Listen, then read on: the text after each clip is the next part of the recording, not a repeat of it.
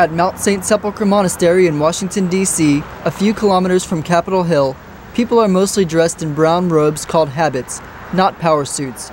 But another kind of attire is also required.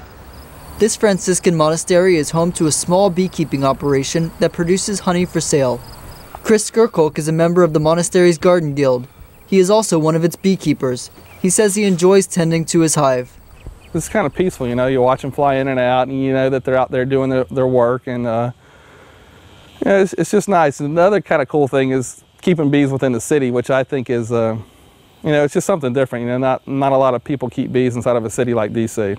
Skirkolk inherited an interest in beekeeping from his mother and stepfather, who are amateur beekeepers in North Carolina. He took a class before starting his own hive, but found significant differences between theory and practice. Understanding what you're supposed to do is a lot different than all of a sudden these bees are swarming around you and you're trying to like do something and you're trying to smoke them and you're trying to like calm them down and then you're starting to get stung and you don't want to freak out because if you freak out then the bees freak out even more. Keeping the bees calm is crucial because homes are close by. The bees can travel over 5 kilometers to gather nectar.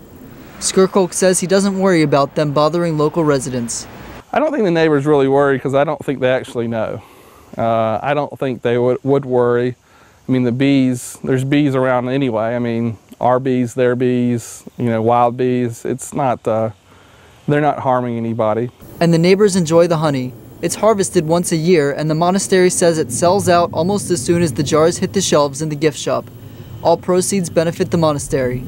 Brad Zerivitz for VOA News, Washington.